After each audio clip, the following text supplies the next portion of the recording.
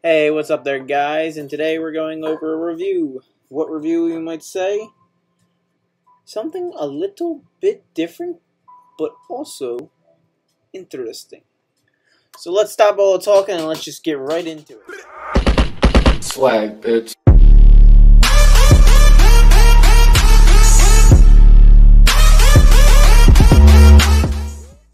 Everyone, so today we're going to be going over this exhaust tip for a regular car.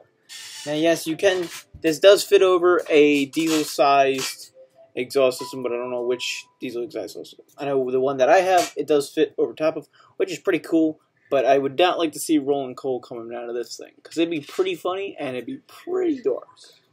Now, as you can see on the inside here, as of right to the bottom, it is pretty close, and it has only one to two tack welds only. So that's as you can see down there. You can see it right in the middle here. It's like a little tack weld right here. So, uh, will it hold up? Will it do, be good? I don't know.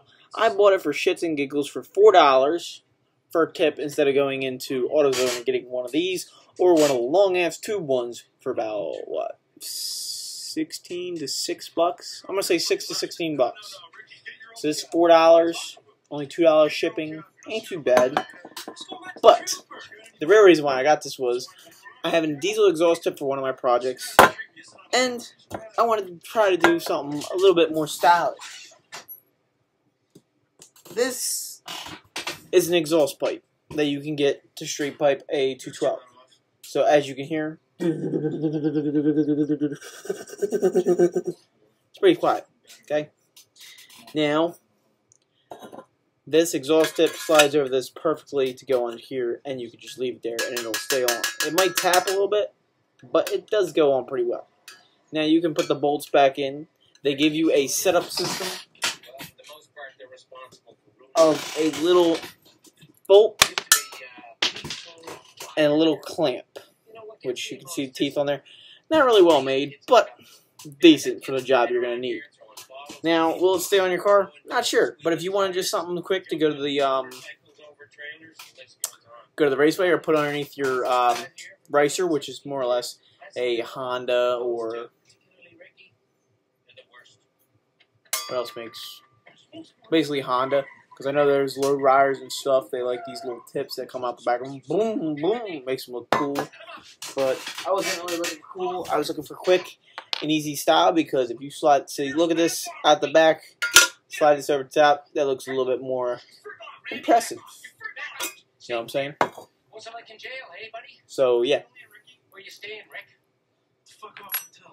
But yeah. So that's what I got and basically goes on the engine like that. So that tip would actually bring it out and make it look a little bit cooler and a little bit more interesting. So we will see what it does. But so far, I wanted to go over it before I, you know, put it on.